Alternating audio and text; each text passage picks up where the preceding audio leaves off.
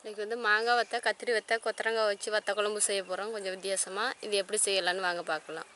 இன்றைக்கி வந்து ஊருக்கு வந்திருக்குறோம். இப்போ இன்றைக்கி எங்கள் தோட்டத்தில் தான் சமைக்க போகிறோம் ஃபஸ்ட்டு நம்ம வந்து வத்த குழம்புக்கு பார்த்திங்கன்னா வெந்நீர் முன்னாடி போட்டுக்கலாம்.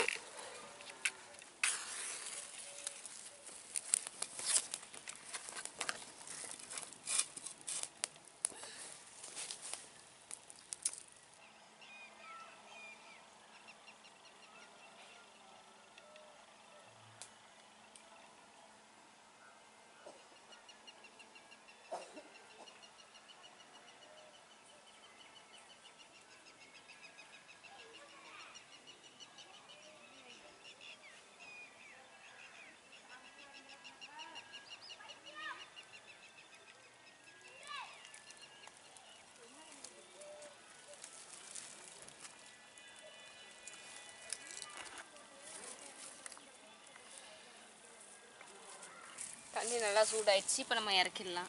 இப்போ பார்த்தீங்கன்னா வத்தலில் வந்து மண் தூசியெல்லாம் நிறையா இருக்கும். நம்ம அப்படியே எண்ணெயில் போட்டு வறுத்தோம்னாக்கா உங்களுக்கு வந்து மண்ணெல்லாம் வந்து குழம்புல இறங்கிடும்.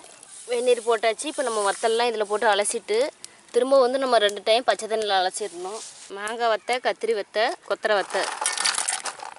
அப்புறம் பார்த்தீங்கன்னா நம்ம வந்து ரொம்ப நேரம் வந்து வெந்நீரில் போடக்கூடாது. நல்லா வெந்து உங்களுக்கு கொல கொலன்னு போயிடும். அதனால் போட்டு நம்ம கையை விட வந்து கரண்டியில் வச்சு நல்லா அலசி எடுத்துடணும்.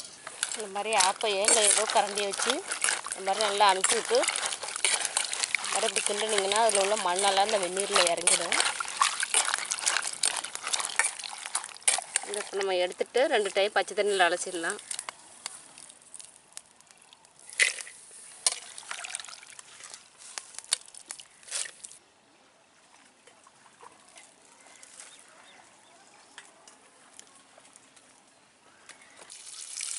பாருங்கள் எப்படி இருக்குது பாருங்கள் மண் இதை இப்போ நம்ம ரெண்டு டைம் வந்து பச்சை தண்ணி ஊற்றி அழைச்சி எடுத்துக்கலாம்.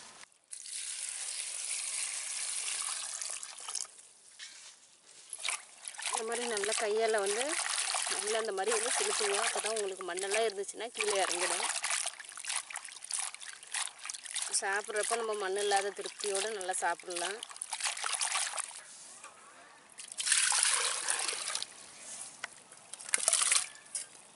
அலசியாச்சு. இப்போ நம்ம வத்த குழம்பு வச்சிடலாம். சட்டி நல்லா சூடாயிடுச்சு. இப்போ நம்ம எண்ணெய் ஊற்றலாம் இது பார்த்திங்கன்னா வத்த குழம்புக்கு நல்லெண்ணெயே ஊற்றிங்க அதுதான் உங்களுக்கு நல்லா டேஸ்ட்டாக இருக்கும். இது பார்த்திங்கன்னா வத்த குழம்புக்கு எண்ணெய் கொஞ்சம் கூடவே ஊற்றிங்க எண்ணெய் நல்லா சூடாயிடுச்சு. இதில் பார்த்திங்கன்னா அரை ஸ்பூனு கடுகு அரை ஸ்பூன் வெந்தயம் போட்டிருக்குறேன். நல்லா பூண்டு.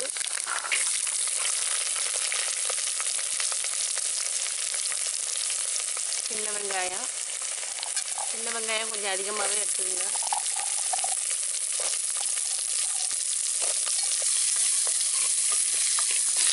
வத்த குழம்புக்கு பார்த்தீங்கன்னா பூண்டு வெங்காயம் வந்து நல்லா வதங்கினா தான் உங்களுக்கு வந்து அஹ், வத்த குழம்புக்கு வந்து டேஸ்ட்டு கொடுக்கும். அதனால அதை நல்லா வதக்கிங்க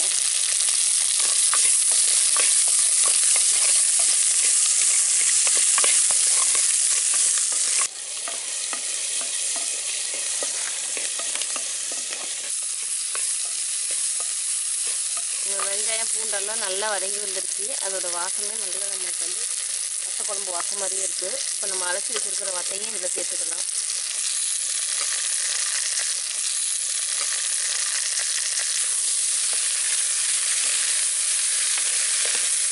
பாருங்க அதுதான் நார்த்தங்கன்னு எங்கள் வீட்டு தோட்டத்தில் இப்போ தான் அது முளைச்சி வந்துட்டுருக்கு.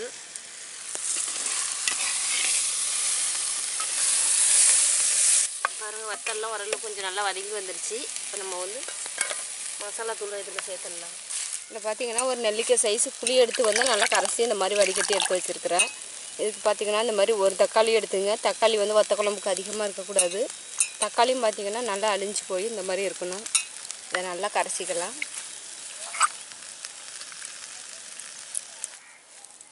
பாருங்கள் குழம்பு தூள் இது. இது ரெண்டு கரண்டி போடுறோம். உங்களுக்கு எந்த அளவுக்கு தேவைப்படுதோ அந்த அளவுக்கு நீங்கள் போட்டுருங்க இதை நல்லா கையில் கரைச்சிக்கணும். இந்த மாதிரி வந்து கையில் நல்லா கரைசிங்க உங்களுக்கு வந்து தக்காளியே தெரியக்கூடாது. தக்காளியை வந்து நல்லா கரைசி எடுத்துங்க. அப்படியே அது சக்கை இருந்தால் கூட அதை எடுத்துருங்க. இது சக்கையெல்லாம் நம்மளுக்கு தேவையில்லை. இதெல்லாம் எடுத்துடலாம்.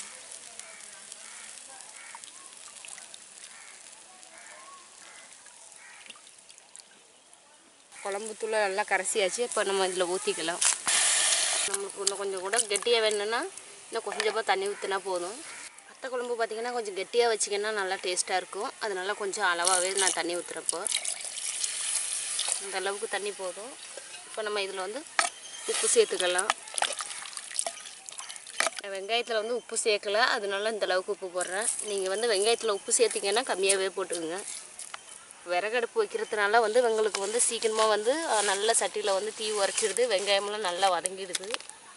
அதனால நான் உப்பு சேர்க்கல.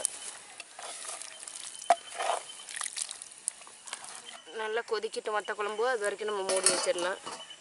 இது நல்லா கொதிச்சுக்கிட்டு இருக்கட்டும். இதுக்கு பார்த்திங்கன்னா நம்ம முருங்கைக்கீரை ஒரு கொத்து உருவி போட்டோம்னா நல்லா ஒரு டேஸ்ட்டாக இருக்கும். இப்போ எங்கள் வீட்டு தோட்டத்தில் இருக்குது போய் ஒரு கொத்து உருவிக்கிட்டு வந்துடலாம்.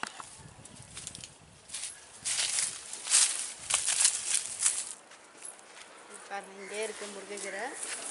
பார்த்திங்கன்னா இந்த இலையெல்லாம் இந்த பாருங்கள் இந்த மாதிரி பழுத்து இருக்கும். நம்ம வந்து ஒரு கொத்து ஒடிச்சிட்டு அதை உதறினோம்னா நம்மளுக்கு வந்து அந்த பழுத்த கீரையெல்லாம் கொட்டி போயிடும். அப்படி கொட்டலாம் கையில் எடுத்து விட்டுங்க அந்த மாதிரி.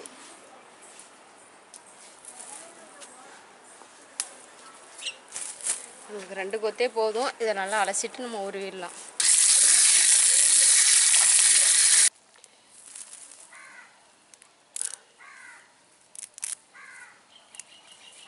இந்த மாதிரி உருவிட்டு இதை இப்படி திருப்பி உருவினீங்கன்னா இதில் உள்ள காம்பெல்லாம் வந்துடும் பாருங்க. இந்த மாதிரி வந்து உருவி எடுத்துக்கலாம். முருங்கைக்கீரையில் பார்த்திங்கன்னா நிறைய இரும்பு சத்து இருக்குது இது உடம்புக்கு ரொம்ப நல்லது. குழம்பு கொதிச்சிட்டான்னு பார்த்துடலாம் நல்லா குழம்பு கொதிச்சு வந்துருச்சு.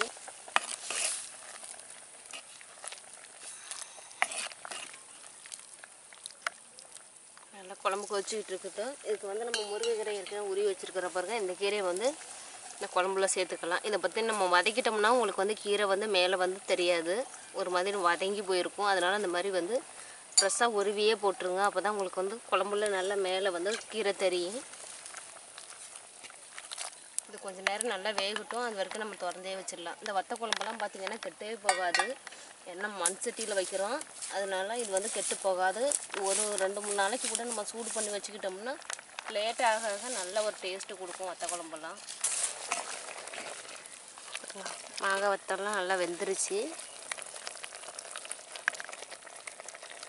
வத்தம் எல்லாம் நல்லா வெந்துருச்சு. குழம்பும் நல்லா கெட்டியாயிடுச்சு. இப்போ நம்ம இறக்கிடலாம். சூடான சுவையான வத்த குழம்பு ரெடி ஆயிடுச்சு. இந்த மாதிரி நீங்களும் செஞ்சு பாருங்கள் செஞ்சு பார்த்துட்டு எப்படி இருக்குன்னு கமெண்டில் சொல்லுங்கள் இந்த வீடியோ பிடிச்சிருந்துச்சுன்னா ஃப்ரெண்ட்ஸ்க்கெல்லாம் ஷேர் பண்ணி விடுங்க இது வரைக்கும் நம்ம சேனலுக்கு சப்ஸ்கிரைப் பண்ணாதவங்க மறக்காமல் சப்ஸ்கிரைப் பண்ணிவிடுங்க மறக்காமல் பக்கத்தில் உள்ள பெல் பட்டனை வந்து கிளிக் பண்ணிவிடுங்க